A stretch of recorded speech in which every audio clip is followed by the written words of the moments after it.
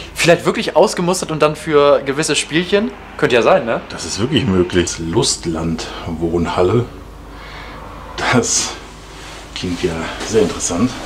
Also es gibt Also- spannende Räume ähm, mit so einigen Sachen halt.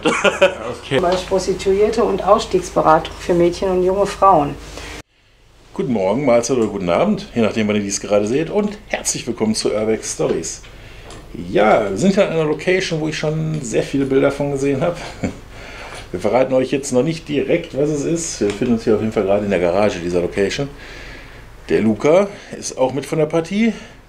Und Stefan, der crost ja auch schon irgendwo rum. Werden natürlich beide wie immer in der Videobeschreibung verlinkt. Und ja, ich würde sagen, wir legen mal los. Seid gespannt mit diesem neuen Video. Da wir ja sagten, wir befinden uns in der Garage, sehen wir hier natürlich diesen alten Ford stehen. Hat Auf jeden Fall schon einige Jahre auf dem Buckel und er steht auch schon eine Weile hier. Das sieht man ziemlich deutlich. Hier drin haben wir noch eine Bildzeitung. Im Prinzip für Lost Place sieht dieser Wagen eigentlich noch relativ unausgeschlachtet aus. Sehr schön schon mal. Und oh la la, guckt euch mal diese Stiefelchen an. Tiger-Wolldecke. Was haben wir da? Oh, Arbeitsschuhe. Okay. Auf jeden Fall sieht es hier ziemlich oh, kellermäßig aus, würde ich sagen. Hier liegt alles Mögliche rum. Nicht viel Zeigbares. Also gehen wir einfach mal weiter, würde ich sagen.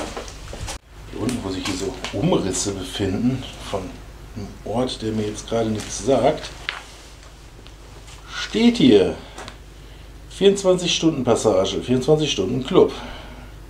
Angeblich ab 45 Euro oder 45 Minuten 135 Euro. so ungefähr. Um was es sich hier handelt, sagen wir noch nicht. Ich glaube, ihr könnt es euch aber alle schon denken. Aber wir filmen mal weiter. Besser wird es hier nicht. Hier steht dasselbe fast nochmal. Alle in Deutschland vertretenen Preisklassen, nicht immer bei allen Frauen. Frauen unterschiedlich seriös. Eieieiei. Schauen wir mal. Vorbei an dieser Feuerschutztür. Zu sehen auch weitere Kellerräume. Ziemlich viel Gekrose. Hier ist der kleine Waschkeller mit Waschmaschine, Trockner und Mangel. Und ich glaube, hier geht es allmählich in den Hauptbereich, würde ich fast sagen. Ganz schön krasser Gewölbekeller hier. Guckt euch mal diese Technik an und diese alten Sicherungen. Das ist ja wirklich mega heftig. Sag mal, was ist denn das für ein Gerät? Das ist doch so ein Drucker oder so Ich hätte jetzt auch 3D-Drucker gesagt. Aber. Äh, also hier unten liegen überall So ein Schredder. so Abfallreste. Das ist ein Schredder. Aber was für einer? Also dieser Kellerbereich sieht auf jeden Fall ausgebaut aus, würde ich sagen. Anhand dieser Mauersteine hier. Oh, drüber bewegen.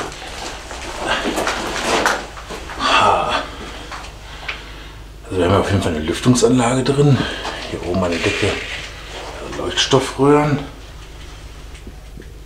Und der Grill hatte hier bestimmt nichts verloren. Das sieht aus, als wäre das auf jeden Fall mal irgendwas gewesen.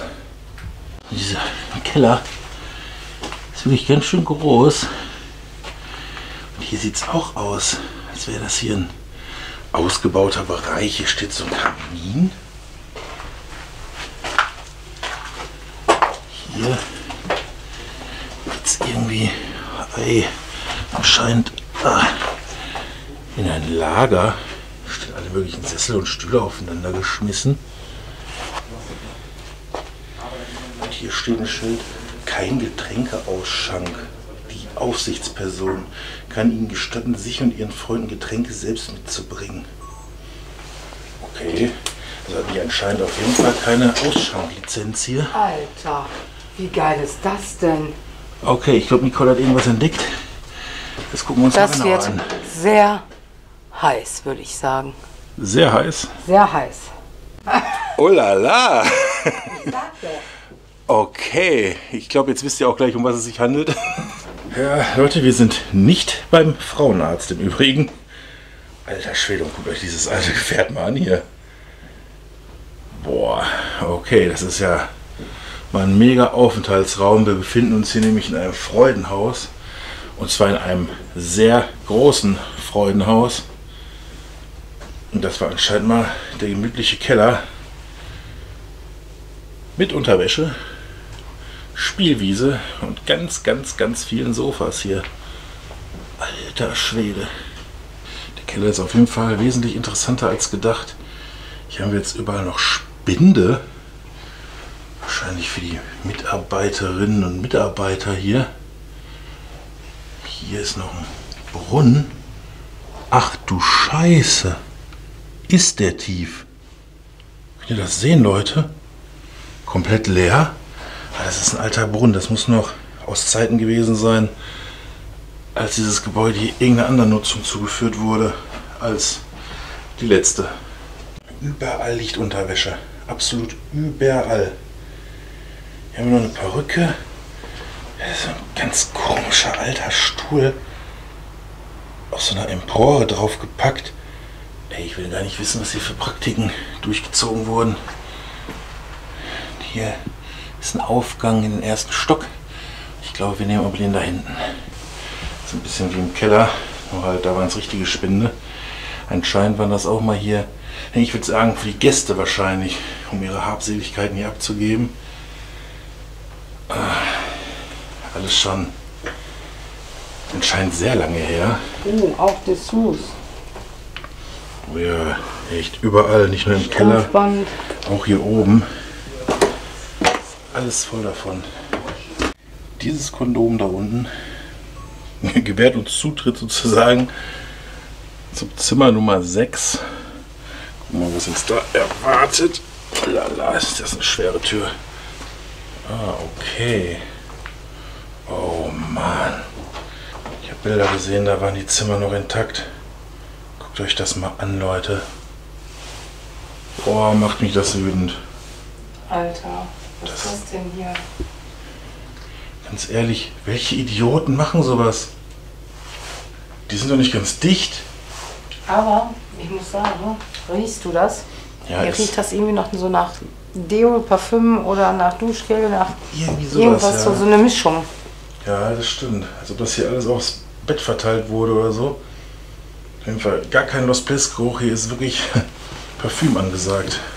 Und hier haben wir noch einen Notausgang, direkt versteckt. Hinter so einem Schrank, kann man sagen. Aber warum? Das hier Aus welchem Grund? Wenn jetzt hier irgendwas Illegales passiert, dass derjenige direkt aus dem Zimmer, weil die Frauen ja vielleicht nicht angemeldet waren vielleicht? Warum hat man sowas in sowas?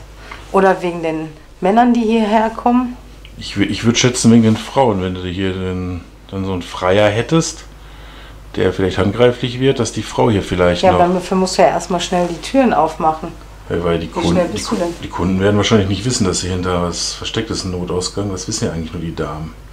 Okay, Also aber schon seltsam. ja, seltsam auf jeden Fall. Gesehen habe ich es auch noch nicht. Das ist, ihr könnt ja gerne mal eure Meinung in die Kommentare schreiben. Also das habe ich tatsächlich noch nicht gesehen. Hier in der Tür steht jetzt Lustland Wohnhalle. Das klingt ja sehr interessant. Und in dieser Lustland Wohnhalle findet sich ein Klo mit einem Schild. Freiheit für Frauen. Punkt, Punkt, Punkt. Richtig aus Granit. Richtig edel, dieses Schild. Und diese Toilette wurde anscheinend wirklich schon lange nicht mehr benutzt. Da hängen Spinnweben runter, die sind länger als ich. Also das ist schon enorm. Hier an den Toiletten hatte Nicole gerade entdeckt, sieht ja aus wie so ein Thron hier. Aber hier ist diese Ablage, wo wahrscheinlich dieses Schälchen mit Geld auch mal drauf war. Und das heißt, hier hat anscheinend die Klofrau oder Klomann gesessen und hier die Toiletten geputzt. Das macht wirklich Sinn. Hier sehen wir noch einen Zigarettenautomat, der versucht wurde aufzubrechen. Ich muss dazu sagen, Luca und ich hatten schon mal hier eine kleine Nachtauskundschaftierung gemacht. Und da hing da drin noch so ein, wie nennt man das, Kuhfuß oder sowas. Auf jeden da noch hier drin. Hier nebenan stand ein Vorschlaghammer und Die waren wahrscheinlich gerade dabei aufzubrechen. Wir schätzen mal, wir haben die gestört und anscheinend sind sie auch nicht nochmal zurückgekommen, um es zu vollenden, weil der Zigarettenautomat tatsächlich noch zu ist. Haben wir ja ungewollt eine gute Tat getan, würde ich sagen. Und hier geht's jetzt in die Schatzkammer. Die Schatzkammer macht so den leichten Eindruck eines überdimensionalen Wohnzimmers, muss ich sagen. Und ganz viele verschiedene Arten von Sofas. Hier haben wir sowas leicht verspieltes, da ein Rosé gehaltenes, edles. Da hinten steht so eine Art Bett. Es ist alles hier so kreuz und quer gemischt, also kein klarer Stil zu erkennen. Also so richtig Mühe haben die sich aber hier auch nicht gegeben.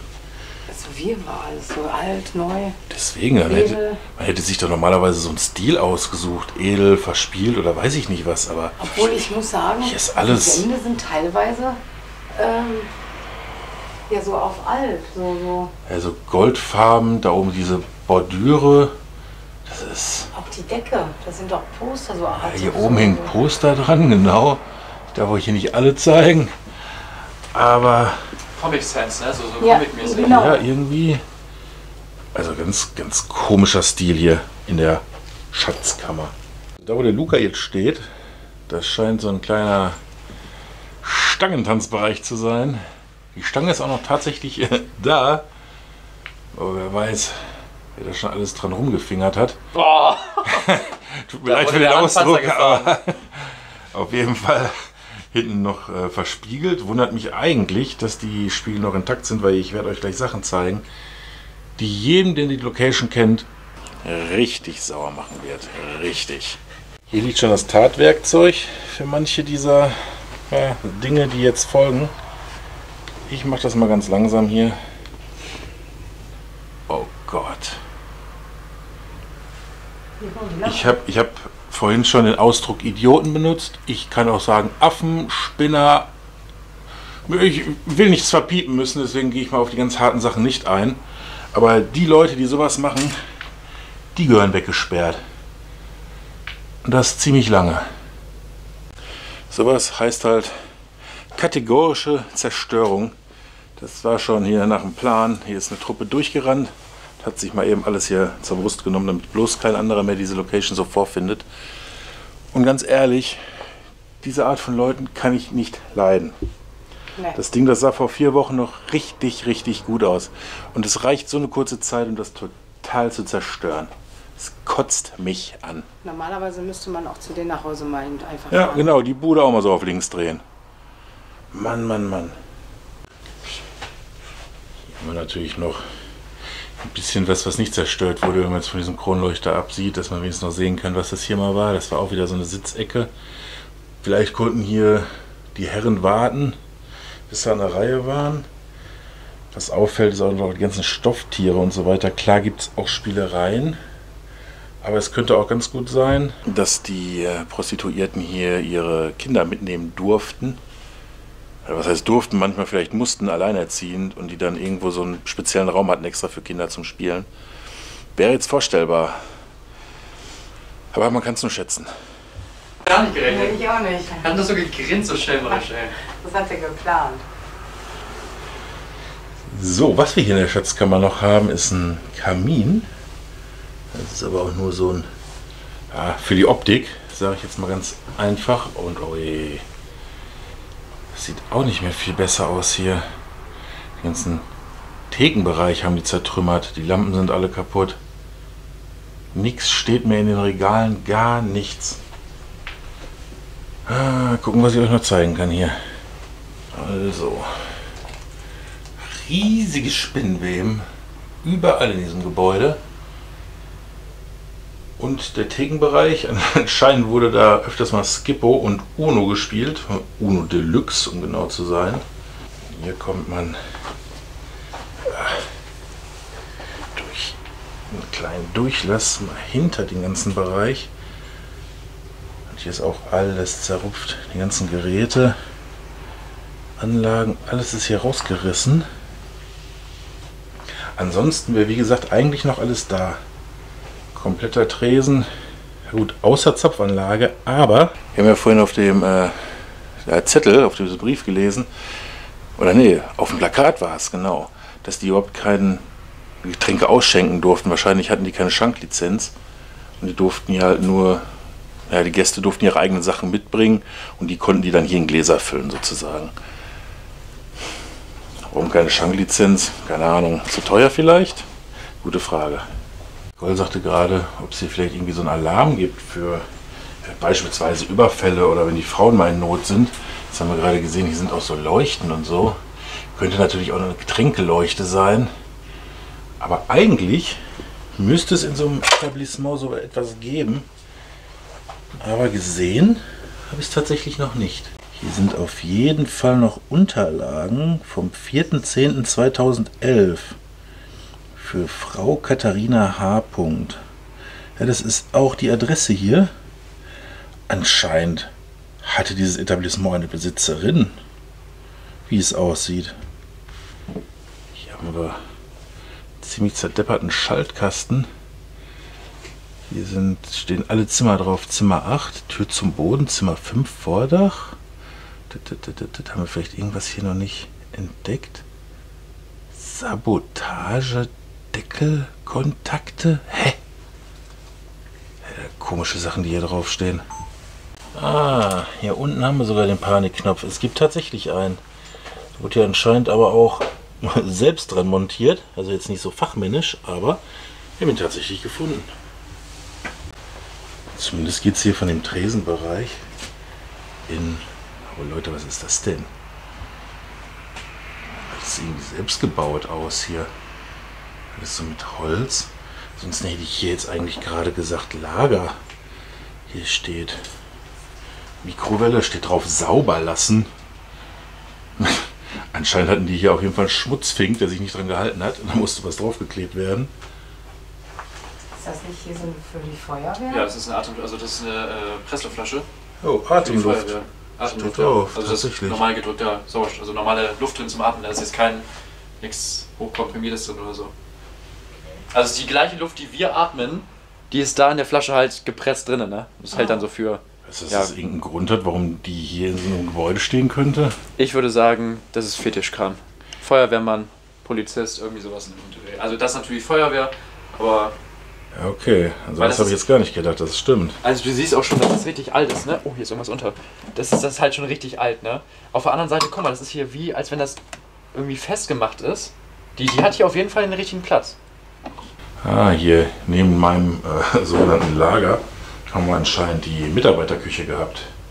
Können sich wahrscheinlich die Damen und wahrscheinlich auch hier die, die Herren von der Bar vielleicht oder so sich mal ein Käffchen machen, vielleicht eine Kleinigkeit kochen.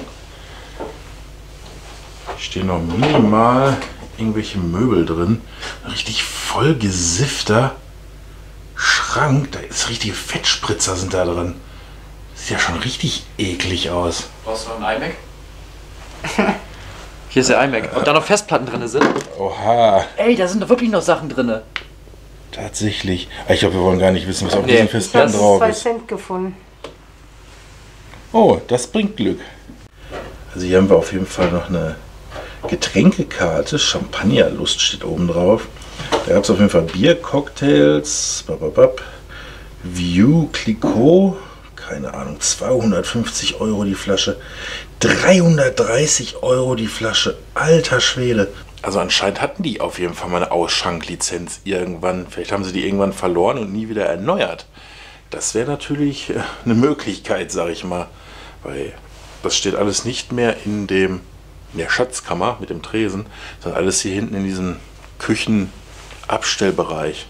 So, was gibt's denn hier noch zu sehen? Diesen selbst zusammengezimmerten Bereich hier. Sieht doch ein bisschen sehr merkwürdig aus. Ja, was ist das denn? Ach nee. Das sind die Kabinen für die Frauen. Das hieß, hier draußen konnten die Männer hergehen und hier saßen die Frauen hinter der Scheibe und dann konnten sie sich die sozusagen aussuchen. Mit welcher man gerne gewisse Zeit verbringt. Das ist ja irre. Das haben die alles selbst gebaut hier. Und das war dann sozusagen hier dieser äh, Flurbereich, wo man dann hier an die Kabinen gehen konnte. Hier steht, häufig lohnt zwei Minuten warten. Dann wusste man Bescheid und dann konnte man sich so eine Nicole aussuchen beispielsweise. Oder so einen Luca aussuchen, wenn man wollte. Und dann, zack, zarab, aufs Zimmer.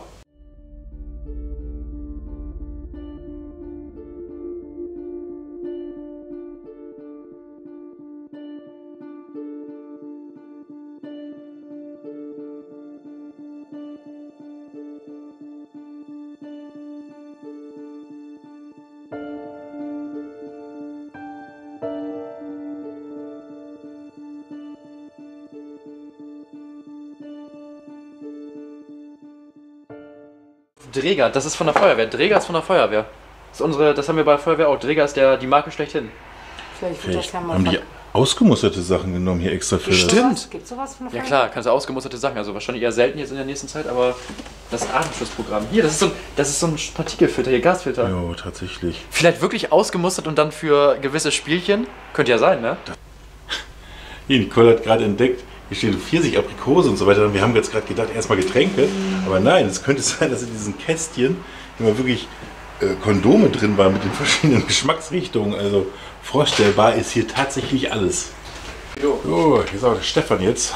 Äh, du warst gerade oben. Ich war gerade oben, ja. Äh, was sagst du? Lohnt sich? Lohnt sich? Also Also, spannende Räume Ja. ähm, mit so einigen Sachen halt. okay, also Aber ich würde, ich würde sagen, lasst euch mal äh, ja, überraschen, was es da noch zu sehen gibt. ich hoffe persönlich, dass es nicht so schlimm ist wie unten hier. Aber Ja. ich wünsche dir trotzdem viel Spaß hier. Wünsche ich auch noch. Aber ein interessantes Ding haben wir hier unten entdeckt. Ja. Sei gespannt. Ich bin gespannt, ich warte. Auf jeden Fall. Ich warte darauf, was, man, was ich meinen Zuschauern auch zeigen kann dann. Ja. Da wirst du noch einiges zu zeigen bekommen.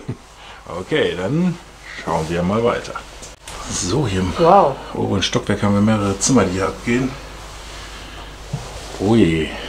Ja, den hatten wir schon mal bekundet vor ein paar Wochen. Da war allerdings die sanitäre Einrichtung noch komplett.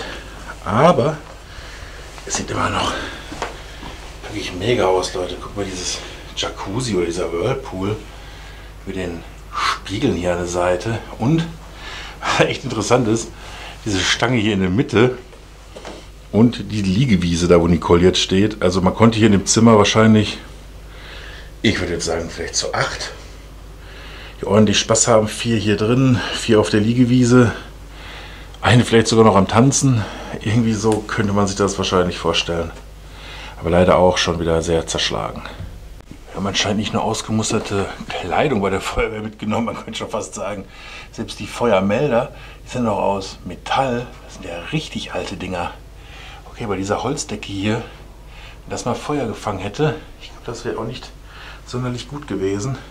Oh Leute, das ist hier der krasseste Raum, den wir bis jetzt hier gesehen haben. Und das, weil es tatsächlich ein Raum ist, der den Namen Lost Place wirklich verdient hat. Guckt euch das mal an. Seht ihr das mit den Spinnenweben hier? Das ist. Boah, man muss aufpassen, wo man hier hin tritt. Das ist ja der Wahnsinn. Als ob dieser Raum viel länger verlassen wäre als irgendwelche anderen. Das geilste Bild ist doch dieses hier. Das sieht man selten. Das ist echt der absolute Oberhammer. Schade, dass hier die Feuerlöscher überall ausgekippt wurden. Hier ist auch kein Bett mehr, nur noch diese Matratze steht hier. Vielleicht hat die mal in der Mitte gelegen. Und dann konnte man hier oben beim Akt in die Spiegel schauen. Oh, warte mal. Was haben wir hier denn? Im Namen aller Vergewaltigten besser Menschlichkeit leistet der Prostitution Vorschub als Unmenschlichkeit den Vergewaltigungen. Ah, deshalb fordern wir die Versetzung des Oberkreisdirektors. Oh, hier haben welche eine Petition gestartet. Die wollten hier den, äh, den Oberkreisdirektor absetzen, weil der sich anscheinend nicht äh, für die Prostitution eingesetzt hat und so weiter. Das ist für Vergewaltigungsopfer in der Prostitution und so weiter und so fort. Finde ich wirklich eine gute Sache. Also anscheinend haben die Betreiber hier ist wirklich gut mit ihren Damen gemeint. Also das kann man denen wohl nicht vorhalten. Das finde ich echt lobenswert. Auch die Sachen, die wir unten gefunden haben gerade, das deutet alles darauf hin. Also die haben wirklich ihre Damen hier gut behandelt anscheinend. Also das hört man selten und ich bin wirklich, wirklich begeistert, das mal zu lesen und zu hören. Hier geht es wohl in die Rezeption. Oh ja, sieht doch wirklich so aus. Oh, muss ja mal. Eieieiei. Guckt auch hier. Das ist ja. Der Name Lost Place, der passt hier sowas von, Leute. Das ist heftig. Diese ganzen Unterlagen hier. Hier wurden Zeitungsartikel wurden hier teilweise gesammelt. Aus der Bar wurde ein eingetragener Verein. Prozess wegen Förderung der Prostitution. Oh Mann, hier liegt so viel Zeug rum. Hier steht noch was von der Strompreisanpassung zum 01.01.2013. Das alles deutet so auf 2013, 2014 hin, so ungefähr. Ich glaube, das ist auch realistisch, wenn man sich das alles hier so anguckt, dass das schon fast zehn Jahre leer steht hier. Mit Sicherheit. Was haben wir denn hier in der Rezeption in dem Schrank stehen? Stopp, je einbezogenes Oberbett mit Kissen, nur für vermietete Zimmer. Für Schlafplätze bitte bei der Aussichtsperson fragen. Ah, da konnten entweder die Damen ihr Zimmer anmieten, um halt hier ihrem Beruf sozusagen nachzugehen, oder die Mitarbeiter konnten sich hier was anmieten. Vielleicht auch beides möglich. Könnte ich mir gut vorstellen. Das ist die Zimmer Nummer 1. Da schauen wir doch mal rein. Ah, ich erkenne es. Hier waren wir vor vier Wochen auch drin. Hier scherzten wir noch wegen einem Overnighter. Und zwar genau deswegen. Aber hier sieht es noch sehr Gut aus. gut aus. Es riecht hier auch nicht besonders schlecht drin. Irgendwie eine Seife oder irgendwie sowas. Ja, hier liegt doch in der Dusche. Und wenn ihr euch das hier so anguckt, ist noch alles bezogen. Die Spiegel sind noch heile. Hier ist der Flucht- und Rettungsplan. Ich muss sagen, das haben die anscheinend selbst gemacht. Selbst ausgedruckt und geschrieben. Sieht zumindest stark so aus. Hier haben wir eine vergoldete Dusche. Hier liegt auch noch Shampoo drin. Ja und ein relativ großes Waschbecken, auch komplett verspiegelt. Mit Tuchspender. Also auf jeden Fall kann man festhalten, das Zimmer, das hat irgendwie was. Oh Leute, was eine Location, ey. Hat man jetzt auch nicht wirklich alle Tage. Wenn es manchmal etwas schlüpfrig wurde oder wir komische Ausdrücke verwenden mussten, tut es uns leid. Es ist, ist nicht anders möglich gewesen hier drin. Auf jeden Fall war es interessant, auch wenn es leider nicht mehr so aussieht wie vor vier Wochen, was wir sehr schade finden. Aber es gibt halt immer solche Idioten. Was willst du machen? Ja, Stefan führt noch zu Ende. Und dann werden wir zusammen mit Luca wieder rausgehen zum Auto, zur nächsten Location fahren. Und wir sagen, wenn euch dieses Video gefallen hat, lasst uns gerne einen Daumen nach oben da. Abonnieren nicht vergessen. Und die Glocke. Und die Glocke. Und bis zum nächsten Mal bei Urbex Stories, Unknown Explorer oder Urban Discovery.